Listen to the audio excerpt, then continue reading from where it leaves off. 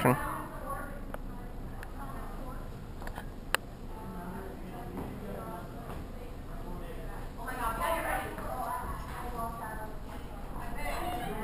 Oh, sorry. No, no. All right, you guys.